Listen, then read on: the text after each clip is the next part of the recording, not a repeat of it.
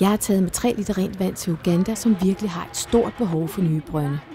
Og der mødte jeg Dennis, som arbejder for Dansk Røde Kors i Uganda. Det er stort set umuligt første gang, man kommer her og tro, der på nogen som helst måde kan være dårligdom. Fordi det er så frodigt, så smukt og så fyldt med vand. Men, men det, det, det ændrer ikke på det faktum, at, at hvis man ikke kan få noget rent drikkevand i munden og i kroppen, så hjælper det bare ikke noget. Børnene her, de er nede og hente vand fra et, et hul, en lille kilde, hvor der er møgbeskidt, fordi det ligger helt nede i bunden af et, af et bjerg. Nogle af de, de bedste eksempler på, på vandborne sygdomme, som vi øh, kæmper imod, det er kolera. Og kolera, det kan, det kan bevæge sig over store afstande igennem alle mulige vandkilder.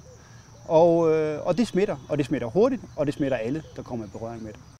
Den bedste måde, man kan bekæmpe vandborne sygdomme på, er ved at bygge brønde, så man kan forsyne befolkningen i de mange landsbyer med rent vand.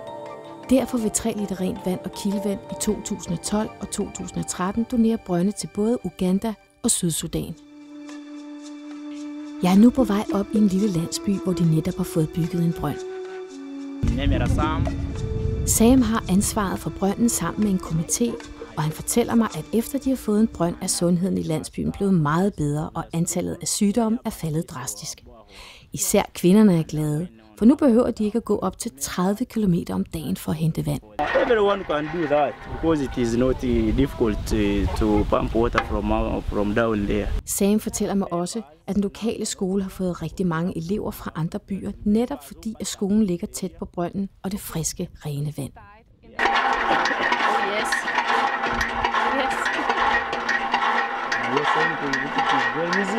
Easy.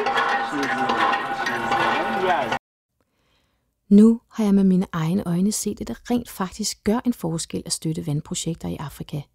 Der skal så lidt til, for at vi kan hjælpe mange mennesker med rent drikkevand.